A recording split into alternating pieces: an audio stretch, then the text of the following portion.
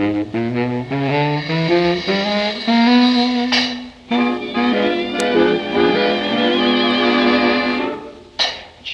have you ever met the bogeyman before? No, of course you haven't, for you're much too good, I'm sure. Don't you be afraid of him if he should visit you. He's a great big coward, so I'll tell you what to do. Hush, hush, hush, here comes the bogeyman. Don't let him come too close to you, he'll catch you if he can. Just pretend that you're a crocodile, and you will find that bogeyman will run away a mile. Say shoo shoo and stick him with a pin. Bogeyman will very nearly jump out of his